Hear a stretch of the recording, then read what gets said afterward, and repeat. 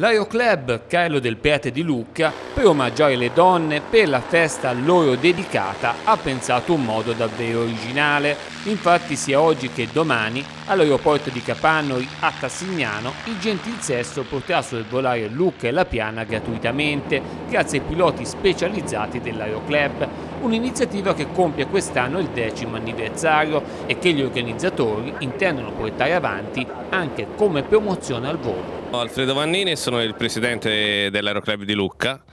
Abbiamo quest'anno organizzato per la decima volta l'edizione Festa della Donna per far avvicinare signore e signorine al volo. Ricordo che l'Aeroclub di Lucca effettua circa 1000-1200 ore di volo all'anno, ha una fiorente scuola di volo con tre istruttori e circa 30 allievi iscritti. Tra questi 30 allievi abbiamo il piacere di avere 5 signore e signorine che stanno prendendo la licenza di pilota privato. Prendere la licenza di pilota privato è la portata di tutti, chiunque lo può fare, non servono particolari doti psicofisiche, basta un po' di buona volontà e un po' di studio. Venite presso il nostro aeroclub e avrete tutte le informazioni necessarie.